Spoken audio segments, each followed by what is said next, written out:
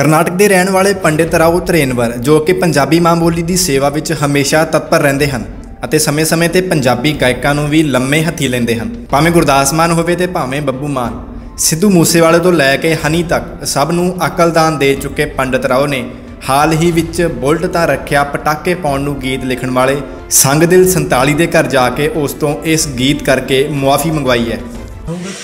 ਇਹ ਜੀ बहुत ही सत्कार योग गुरुपाल सिंह जी।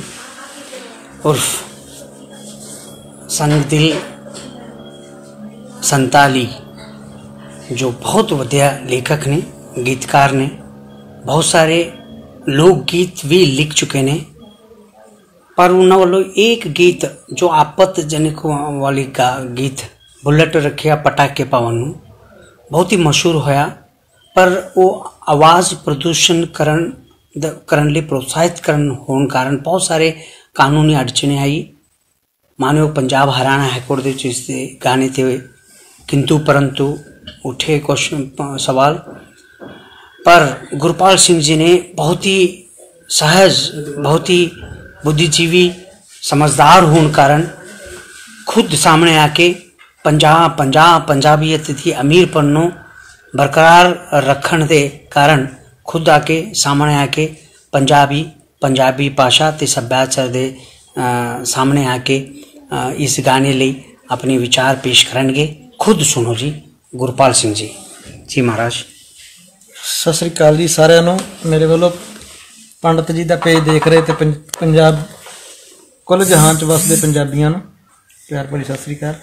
ਅੱਜ ਅਸੀਂ ਬੜੇ ਆਪਣੇ ਆਪ ਨੂੰ ਵਡਭਾਗੀ ਮੈਂ ਮਹਿਸੂਸ ਕਰ ਰਿਹਾ ਸਾਡੇ ਪੰਡਤ ਜੀ ਜਿਹੜੇ ਕਿ ਇੱਕ ਪੰਜਾਬੀ ਮਾਂ ਬੋਲੀ ਦੀ ਆਊਟ ਆਫ ਸਟੇਟ ਪੰਜਾਬ ਤੋਂ ਨਾ, ਕਰਨਾਟਕਾ ਤੋਂ ਆ ਕੇ ਸਾਡੀ ਮਾਂ ਬੋਲੀ ਦੀ ਸੇਵਾ ਕਰ ਰਹੇ ਨੇ, ਜਿਹੜਾ ਕਿ ਸਾਡਾ ਫਰਜ਼ ਬਣਦਾ ਤੇ ਇਹ ਇੱਕ ਦੂਜੀ ਸਟੇਟ ਤੋਂ ਆ ਕੇ ਮੈਂ ਨਹੀਂ ਸੋਚ ਨਹੀਂ ਸਕਦਾ ਆਪਾਂ ਕਲਪਨਾ ਨਹੀਂ ਕਰ ਸਕਦੇ ਵੀ ਇੱਕ ਤੀਜਾ ਬੰਦਾ ਜਿਹੜਾ ਕਿ ਸਾਡਾ ਫਰਜ਼ ਬਣਦਾ, ਉਹ ਆ ਕੇ ਆਪਣੇ ਫਰਜ਼ ਨਿਭਾ ਰਿਹਾ ਤੇ ਅਕਸਰ ਪਹਿਲਾਂ ਵੀ ਇਹਨਾਂ ਨੂੰ ਫੋਲੋ ਕਰਦੇ ਸੀ ਜਦੋਂ ਇਹਨਾਂ ਨੇ ਇੱਕ ਫਟਾ ਲੈ ਕੇ ਖੜੇ ਹੁੰਦੇ ਕਿਤੇ ਦੇਖੀਦਾ, ਤੇ ਆਪਦਾ ਆਪ ਨੂੰ ਲੱਗਦਾ ਲਾਂਤ ਵੀ ਪਾਉਂਦੇ ਸੀ, ਯਾਰ ਇਹ ਸਾਡਾ ਫਰਜ਼ ਬਣਦਾ, ਇਹ ਕਰਨ ਦਾ ਤੇ ਇਹ ਕਰ ਰਹੇ ਨੇ। ਬੜਾ ਲੋਕਾਂ ਤੋਂ ਸੁਣ ਕੇ, ਇਹਨਾਂ ਬਾਰੇ ਸੁਣਦੇ ਸੀ, ਅੱਜ ਇਹਨਾਂ ਨੂੰ ਰੂਬਰੂ ਮਿਲੇ ਆ, ਤੇ ਬਹੁਤ ਵਧੀਆ ਲੱਗਾ ਵਿਚਾਰ ਵੀ ਇਹਨਾਂ ਦੇ। ਚਲੋ, ਆਪਣੇ ਬਾਰੇ ਵੀ ਜੋ ਸ਼ਾਇਦ ਇਹਨਾਂ ਦੇ ਮਨ 'ਚ ਸ਼ੰਕੇ ਸੀਗੇ, ਉਹ ਵੀ ਇਹਨਾਂ ਦੇ ਦੂਰ ਹੋਏ ਨੇ। ਵੀ ਜਿਹੜੇ ਆਪਾਂ ਇੱਕ ਉਸੇ ਦੀ ਗੱਲ ਕਰੀਏ ਪਟਾਕੇ Song ਦੀ, ਵੀ ਮੇਰਾ ਮਕਸਦ ਕੀ ਸੀ ਲਿਖਣ ਦਾ, ਉਹਦੇ 'ਚ ਕੀ ਸੋਚ ਕੇ ਲਿਖਿਆ ਤੇ ਕੀ ਉਹਦੇ 'ਚ ਆਪੱਤੀਜਨਕ ਸੀ। ਸੋ ਉਹ ਇਹਨਾਂ ਨੇ ਦੱਸਿਆ ਵੀ ਗਾਣੇ 'ਚ ਵਰਡਿੰਗ ਵਾਈਜ਼ ਜਾਂ ਉਹਦੇ 'ਚ ਫਿਲਮਾਂਕਣ ਵਾਈਜ਼ ਜਾਂ ਕਿਸੇ ਪੱਖ 'ਚ ਸਾਨੂੰ ਕੋਈ ਇਤਰਾਜ਼ ਨਹੀਂ। ਪਰ ਜਿਵੇਂ ਪਟਾਕੇ ਪਾਉਣ ਨੂੰ ਇੱਕ ਜਿਹਨੂੰ ਆਪਾਂ ਪੋਲਿਊਸ਼ਨ ਕਹਿ ਦਿੰਦੇ ਆ ਸਾਊਂਡ ਪੋਲਿਊਸ਼ਨ ਧਵਨੀ ਪ੍ਰਦੂਸ਼ਣ ਕਹਿ ਦਿੰਦੇ ਆ ਵੀ ਉਹਦਾ ਕਰਕੇ ਇਸ ਲਈ ਇੱਕ ਅਕਸ ਅਕਸਾਉਂ ਦਾ ਧਵਨੀ ਪ੍ਰਦੂਸ਼ਣ ਦੇ ਮਾਮਲੇ ਦੇ ਵਿੱਚ, ਵੀ ਉਸ ਚੀਜ਼ ਨੂੰ ਲੈ ਕੇ ਥੋੜਾ ਪਤੀ ਜਾਣਾ ਸੀ, ਚਲੋ, ਅਸੀਂ ਕਰਨਾ ਤਾਂ ਚੰਗਾ ਹੀ, ਹਰ ਇੱਕ ਬੰਦਾ ਚੰਗਾ ਕਰਨਾ ਚਾਹੁੰਦਾ, ਅਸੀਂ ਵੀ ਸ਼ੁਰੂ ਤੋਂ ਲੈ ਕੇ ਇਹੀ ਕੋਸ਼ਿਸ਼ ਕਰ ਰਹੇ ਹਾਂ। ਪਰ ਕਈ ਵਾਰ ਆਪਾਂ ਇੱਕ ਐਂਗਲ ਤੋਂ ਦੇਖਦੇ, ਦੂਜੇ ਐਂਗਲ ਦਾ ਧਿਆਨ ਨਹੀਂ ਦਿੱਤਾ ਜਾਂਦਾ। ਉਹਦੇ ਮੱਦੇ ਨਜ਼ਰ ਰੱਖਦੇ, ਜੇ ਕੋਈ ਇਹੋ ਜਿਹੀ ਚੀਜ਼ ਆਈ ਇਹਨਾਂ ਨੂੰ ਪ੍ਰੋਬਲਮ ਆਈ ਆ, ਜਾਂ ਆਪਣੇ ਇਸ ਮਹਿਕਮੇ ਨੂੰ ਆਈ ਆ ਪੋਲੂਸ਼ਨ ਬੋਰਡ ਨੂੰ, ਉਹਦੇ ਲਈ ਆਪਾਂ ਸੌਰੀ ਫੀਲ ਕਰਦੇ ਹਾਂ। ਤੇ ਗਾਂ ਤੋਂ ਵੀ ਕੋਸ਼ਿਸ਼ ਕਰਾਂਗੇ। ਪਹਿਲਾਂ ਵੀ ਨਹੀਂ ਕੀਤਾ ਇਹੋ ਜਿਹਾ ਕੁਝ ਗਾਂ ਵੀ ਇਸ ਚੀਜ਼ ਨੂੰ ਥੋੜਾ ਧਿਆਨ 'ਚ ਰੱਖ ਕੇ ਕਰਾਂਗੇ। ਤੇ ਬਾਕੀ ਰਹੀ ਗੱਲ ਜੋ ਇਹਨਾਂ ਬਾਰੇ ਸੁਣਦੇ ਸੀਗੇ, ਤੇ ਉਹ ਅੱਜ ਵਾਕਈ ਲੱਗਿਆ ਵੀ ਇਸ ਕਾਬਲ ਨੇ ਸਾਨੂੰ ਮਾਣ ਦੇ ਰਹੇ ਨੇ, ਸਨਮਾਨ ਕੀਤਾ ਇਹਨਾਂ ਨੇ। ਪਰ ਮੈਂ ਕਿਹਾ ਵੀ ਮੈਂ, ਅਸੀਂ ਇਸ ਕਾਬਲ ਨੇ, ਤੁਸੀਂ ਇਸ ਕਾਬਲ ਹੋ, ਤੁਹਾਡਾ ਪੰਜਾਬੀ, ਸਾਰੇ ਪੰਜਾਬੀ ਜਿਹੜੀ ਤੁਸੀਂ ਸੇਵਾ ਕਰ ਰਹੇ ਹੋ ਤੁਸੀਂ ਤੁਹਾਡਾ ਦੇਣ ਨਹੀਂ ਦੇ ਸਕਦੇ। ਤੇ ਬਹੁਤ ਵਧੀਆ ਲੱਗਿਆ ਅੱਜ ਇਹਨਾਂ ਨੂੰ, ਆਏ ਨੇ ਘਰੇ, ਚਾਹ ਪਾਣੀ ਪੀਤਾ। ਤੇ ਬੜੀ ਖੁਸ਼ੀ ਹੋਈ। ਗਾਂ ਵਾਸਤੇ ਵੀ ਕੁਝ ਗੱਲਾਂ ਬਾਤਾਂ ਹੋਈਆਂ। ਇਹ ਕੀ ਕਰ ਰਹੇ ਨੇ? ਅਸੀਂ ਕੀ ਕਰ ਰਹੇ ਹਾਂ? ਆਉਣ ਵਾਲੇ ਸਮਝ ਕਿਹੜੇ ਗੀਤ ਕਿਹੋ ਜਿਹੇ ਲੈ ਕੇ ਆ ਰਹੇ? ਬੜੀ ਵਧੀਆ ਲੱਗਿਆ ਡਿਸਕਸ ਨਾਲ ਮੇਰੇ ਨੇ ਕੁਲਦੀਪ ਲੋਹਟ ਜੀ ਜਿਨ੍ਹਾਂ ਦੇ ਸਬਬ ਕਰਕੇ ਮੈਂ ਅੱਜ ਇਹਨਾਂ ਦਾ ਦਰਸ਼ਨ ਕਰਨ ਦਾ ਮੌਕਾ ਮਿਲਿਆ। ਇਹਨਾਂ ਨਾਲ ਵੀ ਤੁਸੀਂ ਕਰੋ ਦੋ ਚਾਰ ਗੱਲਾਂ। ਲਓ ਜੀ ਕੁਲਦੀਪ ਜੀ। ਜੀ ਬਿਲਕੁਲ ਅ, ਪੰਡਿਤ ਜੀ ਦੀ ਕਾਰਗੁਜ਼ਾਰੀ ਬਾਰੇ ਤਾਂ ਆਪਾਂ ਸਾਰੇ ਜਾਣਦੇ ਹੀ ਹਾਂ।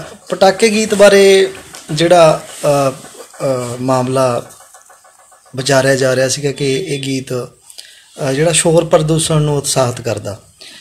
ਅ, ਸੰਗਤਲ ਭਾਜੀ ਨੇ ਬੜੇ ਸਲੀਕੇ ਦੇ ਨਾਲ ਬੜੀ ਤਕਨੀਕੀ ਪੱਖਾਂ ਨੂੰ ਸਾਹਮਣੇ ਰੱਖ ਕੇ ਅੱਜ ਦੱਸਿਆ ਕਿ ਇਹ ਮੇਰਾ ਮਕਸਦ ਨਹੀਂ ਸੀ ਇਹ ਗੀਤ ਨੂੰ।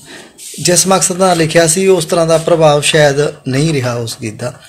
ਤੇ ਗਲਤ ਪ੍ਰਭਾਵ ਪੈ ਗਿਆ। ਉਧਰ ਹੀ ਇਹਨਾਂ ਨੇ ਇਸ ਗੱਲ ਦੀ ਖਿਮਾ ਮੰਗੀ ਆ। ਇਹ ਖੈਰ ਚਲੋ ਗਾਣੇ ਅਣਜਾਣੇ ਗਲਤੀਆਂ ਹੋ ਹੀ ਜਾਂਦੀਆਂ ਨੇ ਤੇ ਤੁਸੀਂ ਸਾਰੇ ਸਿਆਣੇ ਹੋ ਸੂਝਵਾਨ ਹੋ ਵੱਡੇ ਹੋ ਸਾਡੇ ਤੋਂ ਤੇ ਸਾਨੂੰ ਉਮੀਦ ਵੀ ਹੈ ਇਸ ਗੱਲ ਦੀ ਮਾਫੀ ਦਵੋਗੇ ਤੇ ਬਹੁਤ ਜਲਦੀ ਜਿੱਦਾਂ ਹੁਣ ਇਹਨਾਂ ਨੇ ਇੱਕ ਗੀਤ ਪੇਸ਼ ਕੀਤਾ ਹੈ ਬਾਬਲ ਦਾ ਬੇੜਾ ਗਗਨ ਚੀਮਾ ਦੀ ਆਵਾਜ਼ ਦੇ ਵਿੱਚ ਤੁਸੀਂ ਬੜਾ ਪਿਆਰ ਦਿੱਤਾ। ਫਿਰ ਇੱਕ ਗਾਣਾ ਛੋਟੇ ਛੋਟੇ ਬੱਚਿਆਂ ਦਾ ਸੀਗਾ ਕਾਹਦੀਆਂ ਅ, ਗਰੀਬਾਂ ਦੀਆਂ ਲੋਹੜੀਆਂ ਦੀਵਾਲੀਆਂ। ਤੇ ਹੋਰ ਬਹੁਤ ਸਾਰੇ ਗਾਣੇ ਨੇ ਜਿਨ੍ਹਾਂ ਦਾ ਸ਼ਾਇਦ ਇਸ ਸੰਖੇਪ ਛੋਟੇ ਜਿਹੇ ਵਕਤ ਦੇ ਵਿੱਚ ਜ਼ਿਕਰ ਨਹੀਂ ਕੀਤਾ ਜਾ ਸਕਦਾ। ਸੋ ਇਹੋ ਜਿਹੀਆਂ ਪ੍ਰਾਪਤੀਆਂ ਦੇ ਮੱਦੇਨਜ਼ਰ ਸੋ ਇਹ ਜਿਹੜੀ ਛੋਟੀ ਜੀ ਕਿਤਾਹੀ ਆ ਪਟਾਕ- ਪਟਾਕੇ ਵਾਲੀ ਸ਼ਾਇਦ ਮੇਰੇ ਖਿਆਲ ਦੇ ਵਿੱਚ ਉਹ ਕੋਈ ਮਾਇਨੇ ਨਹੀਂ ਰੱਖਦੀ, ਪਰ ਫਿਰ ਵੀ ਇਹਨਾਂ ਦਾ ਵੱਡਾ ਪਾਣਾ ਜਿਹੜੀ ਇਹਨਾਂ ਨੇ ਆਪਣੀ ਭੁਲਾ ਭੁੱਲ ਬਖਸ਼ਾਈ ਆ, ਖਿਮਨਾ ਜਾਚਨਾ ਲਈ ਆ। ਮੈਨੂੰ ਵੀ ਉਮੀਦ ਆ ਕਿ ਤੁਸੀਂ ਸਾਰੇ ਇਸ ਭੁੱਲ ਲਈ ਇਹਨਾਂ ਨੂੰ ਦਿਲ ਦੇ ਵਿੱਚ ਉਹੀ ਥਾਂ ਦੋਗੇ ਜਿਹੜੀ ਤੁਹਾਡੇ ਪਹਿਲਾਂ ਹੈਗੀ ਆ। ਸੋ ਅਸੀਂ ਪੰਡਤ ਜੀ ਦਾ ਤੇ ਸਾਰੀ ਹੋਰ ਪੰਜਾਬੀ ਪਿਆਰਿਆਂ ਦਾ ਬਹੁਤ-ਬਹੁਤ ਧੰਨਵਾਦ ਕਰਦੇ ਹਾਂ। ਕਿਉਂਕਿ ਪੰਡਤ ਜੀ ਕੋਈ ਇਕੱਲੇ ਨਹੀਂ ਹੈਗੇ। ਇਹਨਾਂ ਦਾ ਮਿਸ਼ਨ ਜਿਹੜਾ ਹੁਣ ਇਕੱਲਿਆਂ ਦਾ ਨਹੀਂ ਰਿਹਾ। ਪੂਰੀ ਸਮੁੱਚੀ ਪੰਜਾਬੀ ਕੌਮ ਦਾ ਆ। ਤੇ ਪੰਜਾਬੀ ਵਿਰਸੇ ਦਾ, ਪੰਜਾਬ ਦੇ ਸੱਭਿਆਚਾਰ ਦਾ, ਸੰਗੀਤ ਦਾ, ਸਾਹਿਤ ਦਾ ਇਹ ਇੱਕ ਅਹਿਮ ਮੁੱਦਾ ਬਣ ਚੁੱਕਿਆ। ਸੋ ਤੁਹਾਡੇ ਨਾਲ ਵੀ ਇਹ ਗੱਲ ਸਾਡੀ ਸ਼ੇਅਰ ਕਰਨੀ ਸਾਡੀ ਜ਼ਰੂਰਤ ਬਣ ਗਈ ਸੀਗੀ ਕਿ ਤੁਹਾਡੇ ਤੋਂ ਵੀ ਅਸੀਂ ਇਹ ਪਬਲਿਕਲੀ ਜਨਤਕ ਤੌਰ ਦੇ ਉੱਤੇ ਇਹ ਖੇਮਾ ਮੰਗੀਏ ਕਿ ਇਹ ਸਾਡੇ ਤੋਂ ਕਤਾਹੀ ਹੋਈ ਆ, ਅੱਗੇ ਤੋਂ ਨਹੀਂ ਹੋਏਗੀ। ਤੁਹਾਡਾ ਸਾਰਿਆਂ ਦਾ ਬਹੁਤ ਬਹੁਤ ਧੰਨਵਾਦ। ਪੰਡਤ ਜੀ ਨੇ ਕਰੋ ਗੱਲ। ਮੈਂ ਸਲਾਮ ਕਰਦਾ ਗੁਰਪਾਲ ਸਿੰਘ ਸਾਹਿਬ ਨੂੰ। ਗੁਰਪਾਲ ਸਿੰਘ ਉਰਫ ਸੰਗਦਿਲ ਸੰਤਾਲੀ ਵਾਲੇ ਨੂੰ, ਜੋ ਬਹੁਤ ਸਾਰੇ ਲੋਕ ਗੀਤ ਲਿਖ ਚੁਕੇ ਨੇ। ਮੈਂ ਬਹੁਤ ਹੈਰਾਨ ਹੋਇਆ ਕਿ ਉਹ ਜਿਹਾ ਮਸ਼ਹੂਰ ਗਾਣਾ ਲਿਖਣ ਵਾਲੇ ਕਿਹੜਾ ਗਾਣਾ ਸੀਗਾ ਉਹ? ਲੋੜੀਆਂ ਕਾਹਦੀਆਂ ਗਰੀਬਾਂ ਦੀਆਂ ਲੋੜੀਆਂ ਦਿਵਾਲੀਆਂ ਹਾਂ ਖੁਦ ਸੁਣੋ ਜੀ ਇਹਨਾਂ ਸੁੰਦਰ ਢੰਗ ਨਾਲ ਲਿਖੇ ਨੇ। ਸੁਣੋ ਸੁਣੋ ਦੋ ਹਾਂ ਸੁਣੋ। ਆਪਣੇ ਬੱਚੇ ਸੀ ਆਲਮ ਜਾਲਮ। ਉਹਨਾਂ ਦਾ ਗੀਤ ਪਿੱਛੇ ਜੇ ਬਹੁਤ ਜ਼ਿਆਦਾ ਵਾਇਰਲ ਹੋਇਆ ਸੀਗਾ ਜੀ ਬੱਚੇ ਬਹੁਤ ਬਾ ਕਮਾਲ ਗਾਉਂਦੇ ਨੇ। ਉਹਨਾਂ ਦਾ ਉਹਨਾਂ ਦੀ ਜ਼ਿੰਦਗੀ ਤੇ ਗੀਤ ਲਿਖਿਆ ਸੀਗਾ। ਸੋਚਦੇ ਆ ਦਿਨ ਰਾਤਾਂ ਜਾਗ ਕੇ ਲੰਘਾਲੀਆਂ। ਸੋਚਦੇ ਆ ਦਿਨ ਰਾਤਾਂ ਜਾਗ ਕੇ ਲੰਘਾ ਲੀਆਂ ਹੱਕਾਂ ਦੀਆਂ ਗਰੀਬਾਂ ਦੀਆਂ ਲੋੜੀਆਂ ਦਿਵਾਲੀਆਂ। ਸੋਚਦੇ ਆ ਦਿਨ ਮਾਂ ਗਈ ਕੰਮ ਤੇ, ਹਾਲੇ ਤੱਕ ਆਈ ਨਹੀਂ। ਆਖਰਾਂ ਦੀ ਠੰਡ ਉਹਨੇ ਕੋਟੀ ਵੀ ਤਾਂ ਪਾਈ ਨਹੀਂ। ਮਾਂ ਗਈ ਕੰਮ ਤੇ ਹਾਲੇ ਤੱਕ ਆਈ ਨਹੀਂ। ਆਖਰਾਂ ਦੀ ਠੰਡ ਉਹਨੇ ਕੋਟੀ ਵੀ ਤਾਂ ਪਾਈ ਨਹੀਂ। ਪੱਥ ਦੀ ਨੇ, ਪੱਥ ਦੀ ਨੇ ਟਾਇਓ ਨੇ ਉਂਗਲਾਂ ਕਸਾਲੀਆਂ। ਹੱਕਾਂ ਦੀਆਂ, ਗਰੀਬਾਂ ਦੀਆਂ ਲੋੜੀਆਂ ਦਿਵਾਲੀਆਂ। ਸੋਚਦੇ ਆ ਦਿਨ। ਬਹੁਤ ਸਾਡੀ ਸੋਚ ਤੋਂ ਪਰੇ ਇਸ ਗੀਤ ਨੂੰ ਪਿਆਰ ਦਿੱਤਾ ਤੁਸੀਂ। ਸੋ ਇਹੋ ਜਿਹੇ ਕੋਸ਼ਿਸ਼ ਕਰਾਂਗੇ। ਆ ਰਹੇ ਨੇ ਰਿਕਾਰਡ ਹੋ ਕੇ ਕੁਝ ਧੀਆਂ ਤੇ ਗੀਤ ਨੇ ਮੇਰੇ।